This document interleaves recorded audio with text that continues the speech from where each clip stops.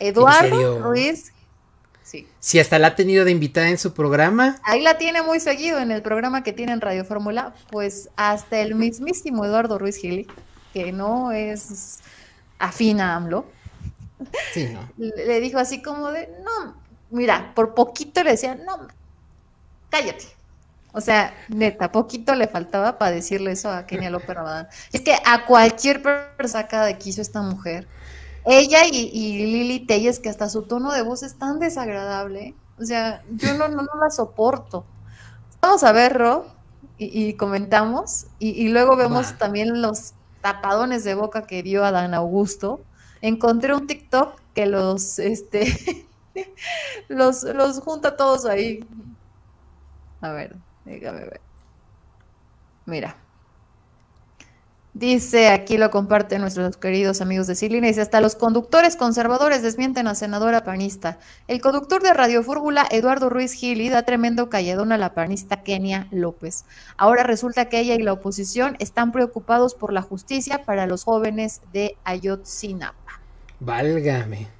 Ahí va. Este creo que sí lo podemos poner sin problema, ¿no? Hey. Ahí va. ¿Qué nos deja claro, Eduardo?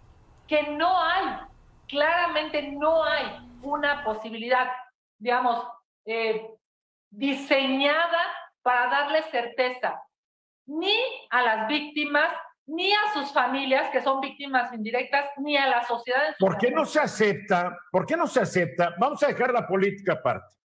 ¿Por qué no se acepta que hay, un, hay un gran ocultamiento y destrucción de pruebas y evidencias. Que muchos de los guerreros unidos o de los rojos que participaron en esto ya están muertos. Ya se los echó alguien. algunos militares que estaban involucrados parece que ya también se murieron. O sea, han pasado ocho años y, caray, lo ves en cualquier serie de televisión de detectives que lo que no averiguas en las primeras horas después del hecho, el hecho se vuelve cada vez más difícil de aclarar y de resolver. Aquí vamos ocho años y cuando llegó el presidente, y no dude sus buenas intenciones, yo creo que no se imaginó que le iban a dejar un caso que no se va a poder resolver por el ocultamiento, desaparición de pruebas que se hizo durante el gobierno de Enrique Peña Nieto instrumentado, pues hay que averiguar por quién. Déjame decirte, Eduardo, porque ya estamos a punto de concluir, solamente una cosa. Hoy están caminando rumbo a Palacio Nacional en este momento ciudadanos mexicanos, víctimas directas y víctimas indirectas. ¿Con qué se van a topar en Palacio Nacional? Con unas vallas, con unas rejas, con decir no los veo, no los oigo. Me parece que el presidente de la República... Ay, bueno, bueno, bueno, no me vengas con esa, porque cuando Calderón y Peña Nieto vivían en Los Pinos, no nos dejaban llegar a un kilómetro de Los Pinos. Así es que mira, eso ya es política, es política. no, no, me... Déjame regresar a esa parte. Sí, no, es que... No, es que, que, que... Ay, no, te digo, casi que... ¡Joya! Mira, se detuvo. ¿eh? Pero es una de esas veces que, en serio, a mí me ha pasado que estás discutiendo con alguien y dice una de esas dices, ay, no. No me vengas. no me. Ahí va, ahí va otra vez. Hasta en grande los voy a poner, ahí va. No oigo, me parece que el presidente de la República. Ay, bueno, bueno, bueno, no me vengas con esa, porque cuando Calderón y Peña Nieto vivían los pinos, no nos dejaban llegar a un kilómetro de los pinos. Así es que mira, eso ya es política, es política.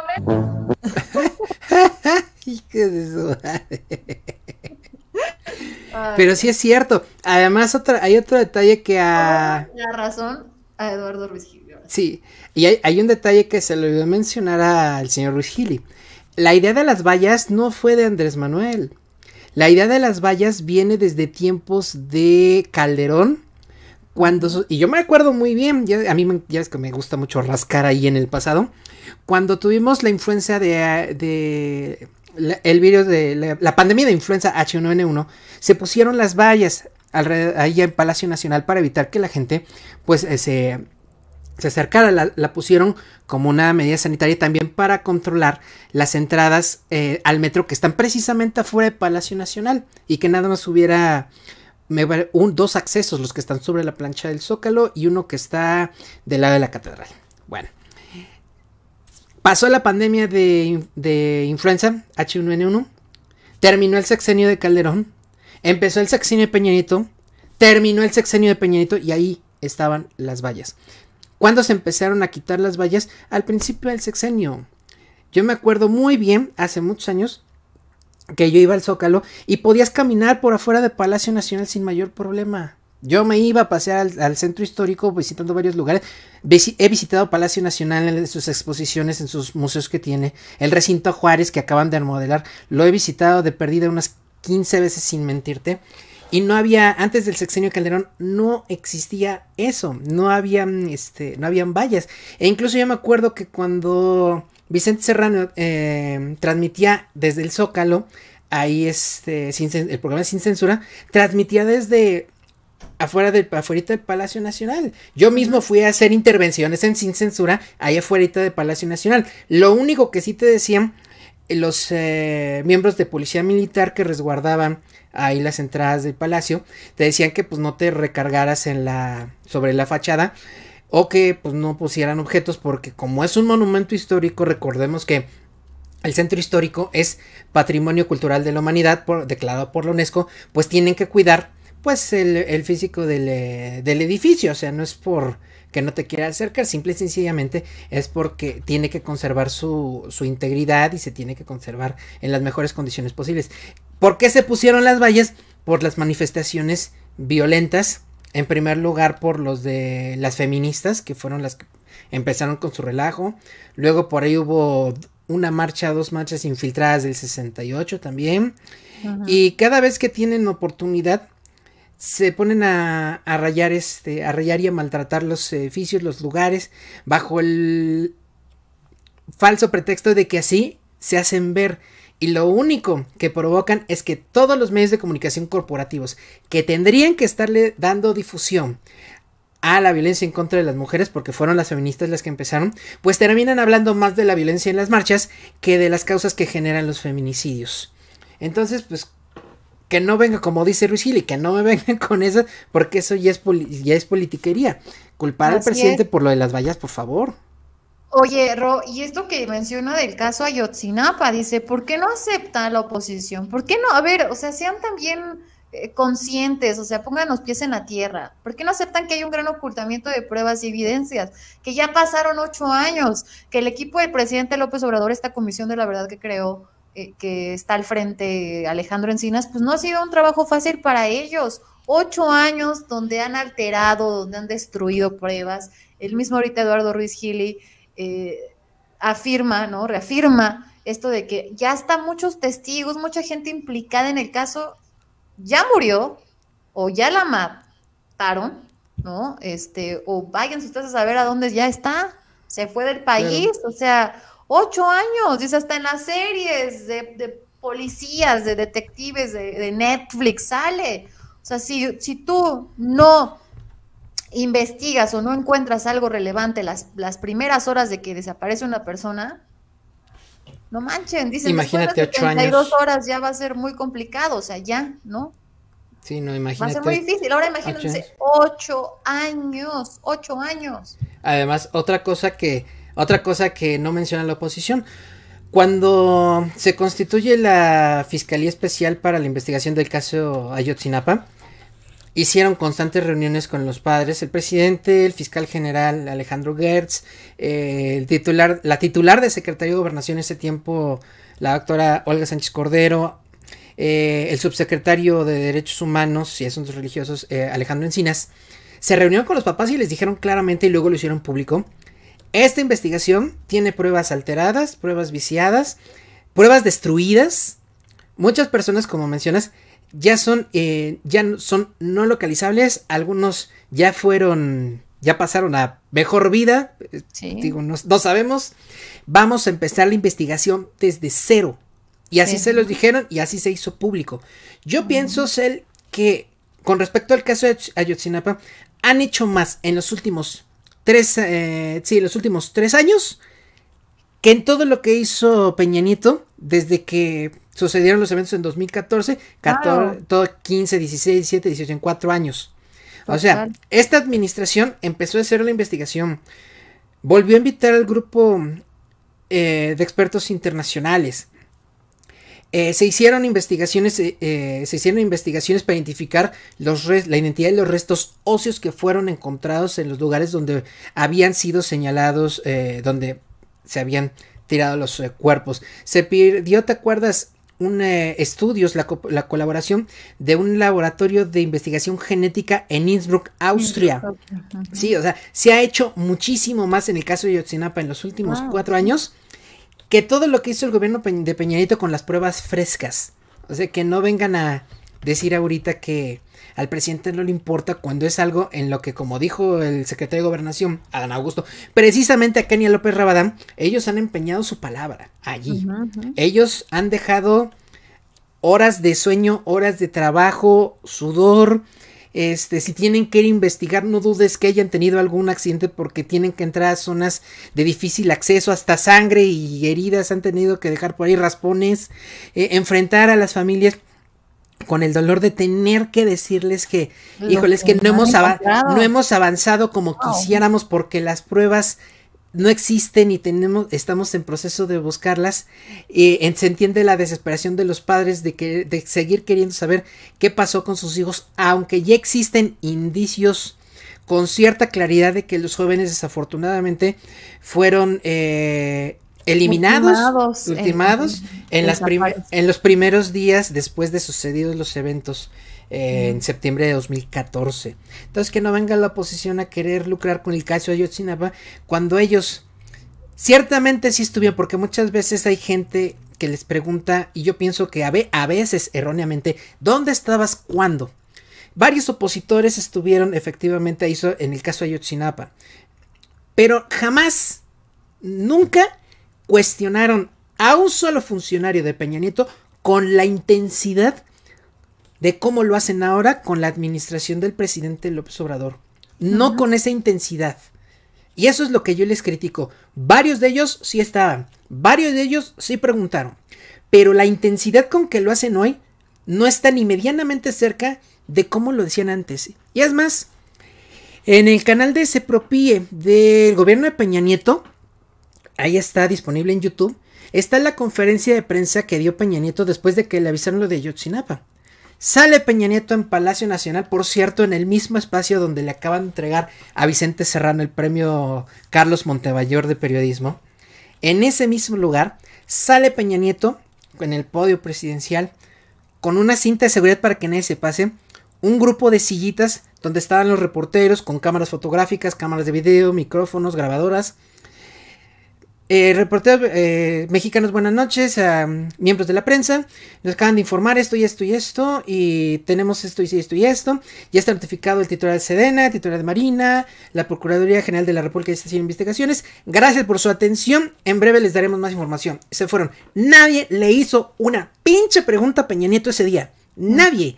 Nadie se alzó de, de la silla para reclamar. Nadie. Y ahora que lo hagan con esta intensidad, que no me vengan con fregaderas, como dice Ruiz Gili, porque eso es politiquería y es de muy poca madre, sinceramente. Claro. Sí, porque están lucrando con el dolor de las familias que siguen sufriendo para poder saber ya no tanto qué les pasó a sus hijos, sino dónde están los restos para darles cristiana sepultura o de acuerdo a las creencias que cada familia tenga.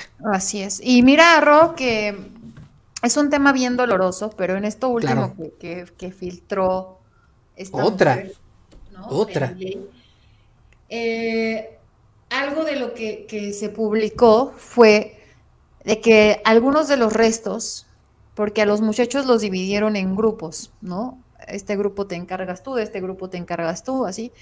A un grupo de chicos sus, sus los ultimaron y, sus restos, de acuerdo a esta investigación que llevó a cabo el equipo de, de Alejandro Encinas, los arrojaron a un pozo de una mina.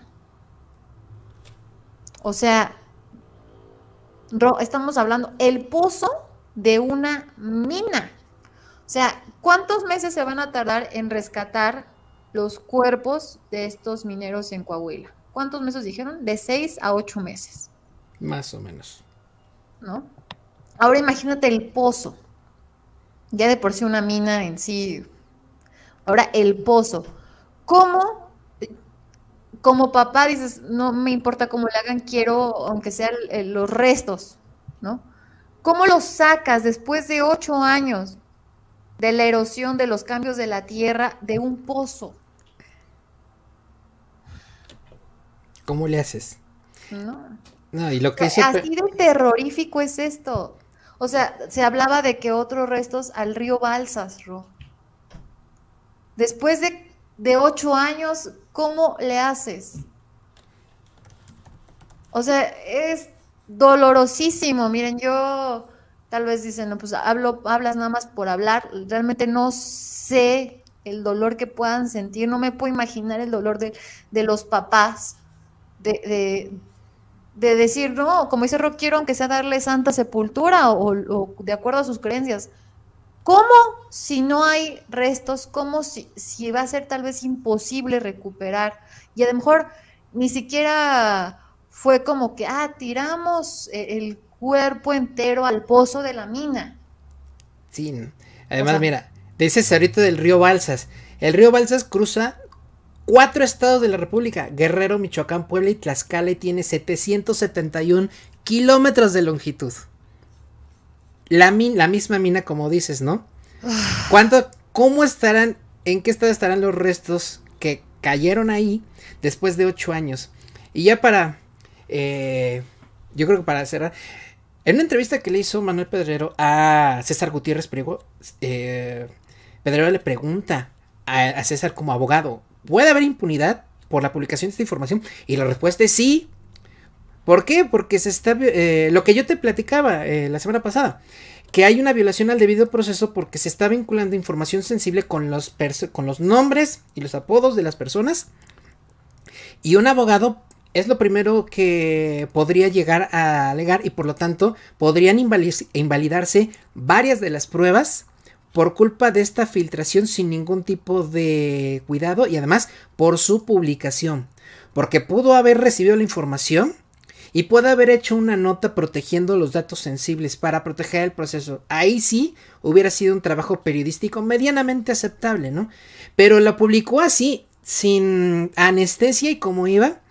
Y gracias a eso podría llegar a haber impunidad si alguno de los abogados de los presuntos culpables llega y dice, a ver, a mi cliente todavía ni le aplican el juicio, no hay sentencia y ya se dio a, dar esta, a dar a conocer esta información que lo hace parecer culpable cuando ni siquiera hay un juicio en, este, en proceso.